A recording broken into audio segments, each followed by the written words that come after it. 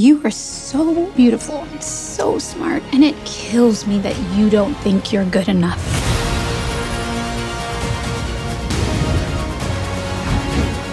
You got this.